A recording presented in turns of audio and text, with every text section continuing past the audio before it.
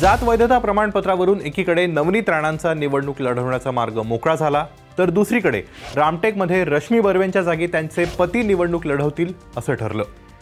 जात वैधता प्रमाणपत्र फक्त निवडणुकांमध्येच नाही तर अनेक कारणांसाठी अनेकांना तयार करावं लागतं. शाळेत प्रवेश घेताना नोकरी मिळवण्यासाठी नोकरीत बढती मिळवण्यासाठी वगैरे. पण जात वैधता प्रमाणपत्र म्हणजे नेमकं काय असतं? ते काढण्यासाठी कुठे अर्ज करावा लागतो? समजून घेऊया आजच्या सोपी गोष्टमध्ये. सगळ्यात आधी समजून घेऊयात की जात प्रमाणपत्र आणि जात वैधता प्रमाणपत्र याच्यातला फरक काय आहे. जात प्रमाणपत्र म्हणजे जातीचा दाखला. एखाद्या व्यक्तीची जात कोणती हे सांगणारं प्रमाणित करणारा सरकारी कागद म्हणजे जात प्रमाणपत्र. तर एखाद्या व्यक्तीने ज्या जातीचं प्रमाणपत्र सादर केलं आहे त्याची पडताळणी करणारा दस्तावेज म्हणजेच जात वैधता प्रमाणपत्र. अनुसूचित जाती अनुसूचित जमाती आणि इतर मागास वर्गातल्या व्यक्तींना आरक्षणाचा लाभ घ्यायचा असेल तर जात वैधता प्रमाणपत्राची गरज असते. शिक्षण नोकरी राजकारण किंवा इतर कुठेही आरक्षणाचा फायदा घ्यायचा असेल तर जात प्रमाणपत्र आणि जात वैधता प्रमाणपत्र असणं गरजेचं असतं.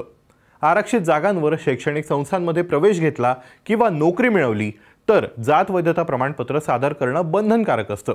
यासोबतच सरकारी नोकरदारांना आरक्षणानुसार बढती मिळवायची असेल तर त्यांच्याकडे जात वैधता प्रमाणपत्र असणं आवश्यक असतं. स्थानिक स्वराज्य संस्थेपासून ते लोकसभेच्या निवडणुकांपर्यंत प्रत्येक निवडणुकीत आरक्षित जागांवर ज्या उमेदवारांना निवडणूक लढवायची असेल त्यांना निवडणूक अधिकाऱ्यांकडे जात वैधता प्रमाणपत्र सादर करावं लागतं.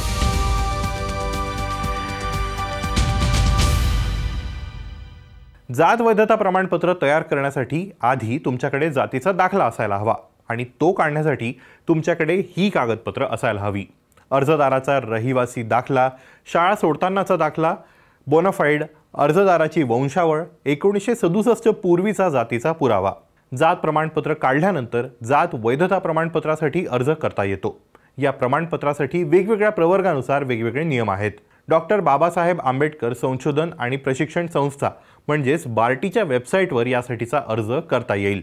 याशिवाय ऑफलाईन पद्धतीने जर अर्ज करायचा असेल तर तुम्ही स्वतः सेतू सुविधा केंद्र आणि आपले सरकार सेवा केंद्र अशा ठिकाणी जाऊ शकता.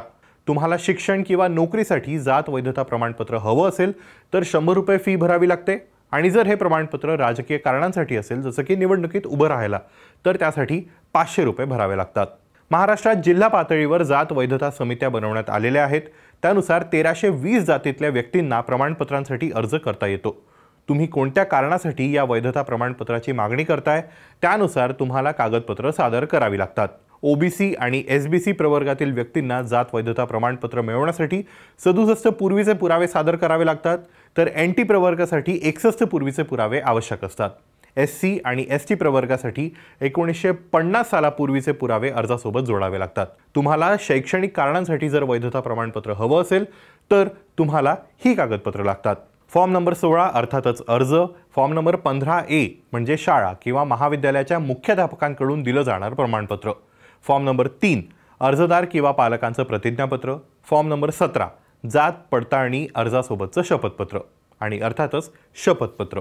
तुम्हाला निवडणुकीत उभं राहण्यासाठी जात वैधता प्रमाणपत्र मिळवायचं असेल तर ही कागदपत्रं लागतात.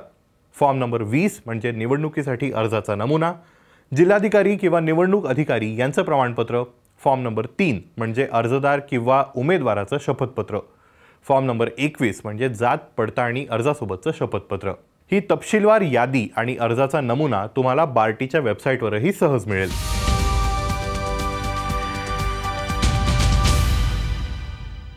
कागदपत्र जोडून ऑनलाईन अर्ज केला आणि त्यावर कुठलाही आक्षेप आला नाही तर तुम्हाला संबंधित जात पडताळणी समितीकडून पंधरा ते नव्वद दिवसात प्रमाणपत्र दिलं जाईल.